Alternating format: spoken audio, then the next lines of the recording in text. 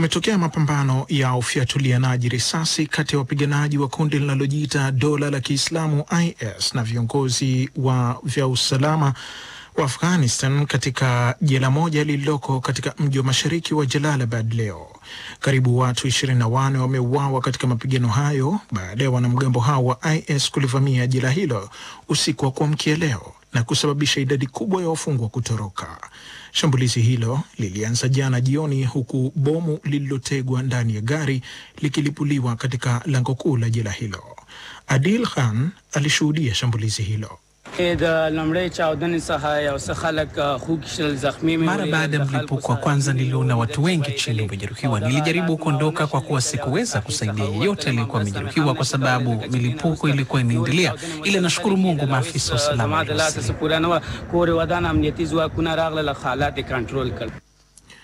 Kulikuwa na milipuko mingine mingi iliyosikika wakati magaidi hao walipofyatulia risasi walinzi. Kulingana na mbunge katika mkoa wa Nangara, Sorab Kaderi, wanamgambo 30 ndio waliohusika katika shambulizi hilo katika jela lililokuwa na wafungwa elfu mbili. Kwa mujibu wa msemaji wa serikali Ataula Kugiani, wanamgambo watatu waliuawa katika shambulizi la awali, huku takriban raia 21 na walinzi wa usalama wakifariki katika mapigano hayo. Watu 43 walijeruhiwa. Hesabu iliyofanywa na shirika la habari la Ufaransa AFP kutokana na takwimu kutoka duru rasmi zinaonyesha kuwa maambukizi ya virusi vya korona duniani yamepindukia milioni 18. Haya yamejiri wakati ambapo kiwango cha maambukizi ya virusi hivyo kinaendelea kuongezeka kwa kasi. Zaidi ya nusu ya visa vya maambukizi duniani viko nchini Marekani na katika ukanda wa Amerika Kusini na eneo la Caribbean. Marekani ndiyo nchi iliyoathirika zaidi ikiwa na zaidi ya visa milioni nne na vifo zaidi ya laki moja na nusu. Brazil ndiyo ya pili ikiwa na karibu visa milioni tatu na zaidi ya vifo tisini na nne elfu. Kote duniani kumeandikishwa vifo 687,941. Hesabu hii iliyofikiwa kwa kutumia data za AFP kutoka kwa serikali na taarifa za shirika la afya duniani WHO huenda ikawa inaonyesha idadi ndogo tu ya maambukizi kamili. Nchi nyingi zinawapima watu wanaoonyesha dalili tu.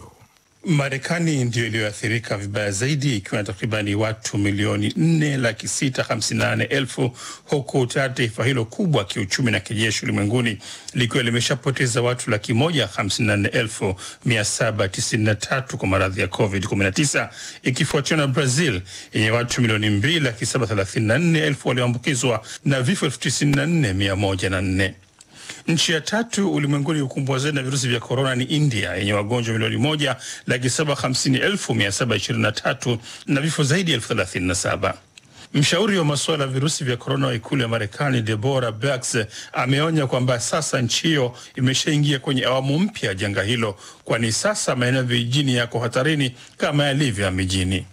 Akizungumza na kituo cha CNN, Birx ambaye anaongoza kikosi kazi cha korona kwenye ikulu ya White House amesema kwamba kinachoshuhudiwa sasa ni tofauti na hali ilivyokuwa kwenye miezi ya Machi na Aprili, na kwamba watu wanaoishi mashambani hawako salama kama walivyo wa mijini. Hapa Ujerumani, idadi ya watu waliothibitika kuambukizwa virusi vya korona imeongezeka kwa mia tano na tisa na hivyo kufikia laki mbili elfu kumi mia nne na mbili hivi leo. Kwa mujibu wa taasisi ya Robert Koch inayohusika na maradhi ya maambukizo, watu wengine saba wamepoteza maisha na kuifanya idadi yaliyokwisha kufa kwa maradhi ya COVID-19 kufikia 9148. Barani ya Afrika, nchi inayoongoza ni Afrika Kusini ambayo sasa ina wagonjwa laki tano elfu tatu mia mbili tisini ikiwa ni zaidi ya asilimia hamsini ya maambukizo yote yaliyoripotiwa kwenye mataifa hamsini na nne ya bara hilo. Waziri wa afya Zvelini Mkhize amesema kwamba watu elfu nane mia moja hamsini na tatu wameshapoteza maisha. Taifa hilo lenye wakazi milioni 58 la tano ulimwenguni wa kuwa na watu wengi zaidi walioambukizwa virusi vya korona, ikitanguliwa na Marekani, Brazil, Urusi na India, yote yakiwa mataifa ya idadi kubwa zaidi ya watu. Jimbo la Gauteng ambalo linajumuisha miji miwili muhimu ya Johannesburg na Pretoria ndilo kituo kikuu cha maambukizo ambapo asilimia 35 ya waliosajiliwa wanapatikana humo. Hospitali za jimbo hilo zinaelekea kuelemewa na wagonjwa, wakati wataalamu wakisema kilele hasa cha maambukizo kitakuwa mwishoni mwa mwezi wa Agosti au mwanzoni mwa mwezi wa Septemba. Gazeti moja la Ujerumani linaripoti kuwa kiongozi wa zamani wa kanisa Katoliki duniani Papa Benedict wa 16 yuko katika hali mbaya ya kiafya. Gazeti hilo la Passauer Neue Presse limesema kiongozi huyo wa zamani wa kidini anaugua baada ya ziara yake Ujerumani. Kulingana na mwandishi wa historia yake Ziva, Peter Ziewald, Benedict ambaye ana umri wa miaka 93 amekuwa dhaifu mno na anapozungumza sauti yake haisikiki. Kulingana na ripoti ya gazeti hilo, alipofanya mkutano na Ziewald Jumamosi, Benedict alionekana kuwa mwenye matumaini na akasema huenda akaendelea na uandishi wa maisha yake tena atakapopata nguvu. Papa huyo zamani alikuwa amemtembelea kwa mara ya mwisho kakake George Ratzinger mwenye miaka 96 aliyekuwa anaumwa. Ratzinger alifariki muda mchache baadaye. Hiyo ndio ilikuwa ziara yake ya kwanza ya ilikuwa ziara ya kwanza ya Benedict nje ya Italia tangu mwaka 2013 alipostaafu uongozi wa kanisa Katoliki. Jeshi la Israel limesema kuwa limewaua watu wane waliokuwa wanatega mabomu katika uzio ulioko katika eneo linalokaliwa na nchi hiyo katika milima ya Golan. Msemaji wa jeshi Luteni Kanali Jonathan Conricus amewaambia waandishi wa habari kuwa watu hao walikuwa katika eneo la Israel lakini nyuma ya uzio.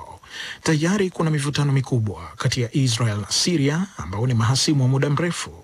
Mwezi uliopita helikopta za kijeshi za Israel zilishambulia kambi za kijeshi kusini mwa Siria katika kulipiza kisasi cha mashambulizi ya awali yaliyoelekezwa Israel.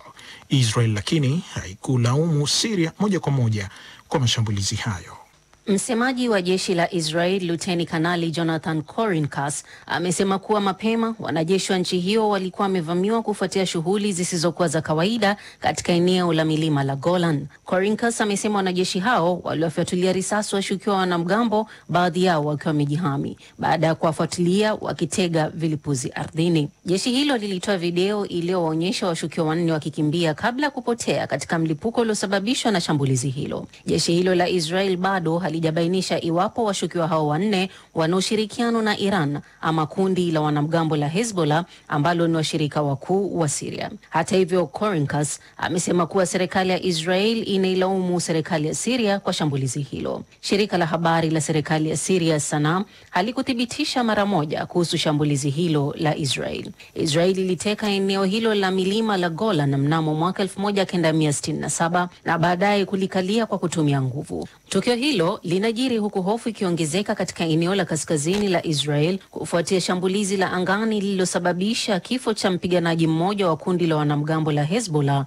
nchini Siria. Kufuatia shambulizi hilo, eneo la milima la Golan lilishambuliwa na vilipuzi kutoka Siria na Israel ikajibu kwa kushambulia maeneo ya kijeshi ya Siria na kuimarisha vikosi vyake katika eneo hilo. Wakati huo huo, shirika linalofuatilia haki za binadamu nchini Siria lenye makao yake nchini Uingereza limesema kuwa makundi ya itikadi kali na washirika wake katika eneo la kaskazini magharibi mwa Siria leo yamewaua wapiganaji kumi na wawili wa serikali ya nchi hiyo na kutibua operesheni yao. Shirika hilo limeendelea kusema kuwa wapiganaji wengine kumi na saba walijeruhiwa huku wapiganaji sita wa makundi hayo ya itikadi kali wakiuawa. Vikosi vitiifu kwa Rais Bashar al-Assad wa Siria vilifanya mashambulizi kwa kutumia mizinga mikubwa katika ngome kuu ya mwisho ya upinzani, lakini muungano wa makundi ya itikadi kali wa Hayat Tahrir al-Sham HTS unaongozwa na waliokuwa viongozi wa kundi lililokuwa na mafungamano na Al-Qaida la Syria na washirika wake unaripotiwa kutibua mashambulizi hayo.